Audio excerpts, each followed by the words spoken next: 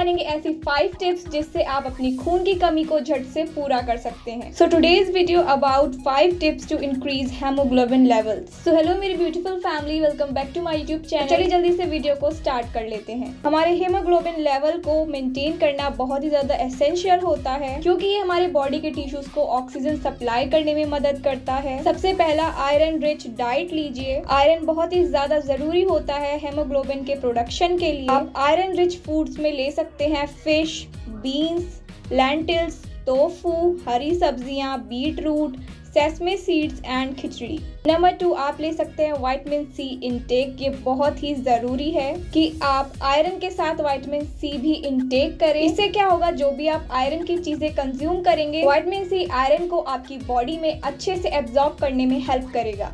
Vitamin सी rich foods में आप ले सकते हैं citrus fruits strawberries bell pepper क्योंकि वाइटमिन सी आयरन की एब्जॉर्प्शन को बढ़ा देता है, जिससे कि हेमोग्लोबिन लेवल भी बढ़ जाता है। Number three vitamin B twelve along with these nutrients vitamin B twelve भी बहुत ही ज़्यादा ज़रूरी होता है, क्योंकि इसमें पर्टिकुलरली फोलेट होता है, जो कि बहुत ही ज़्यादा ज़रूरी होता है हेमोग्लोबिन सिंथेसिस के लिए।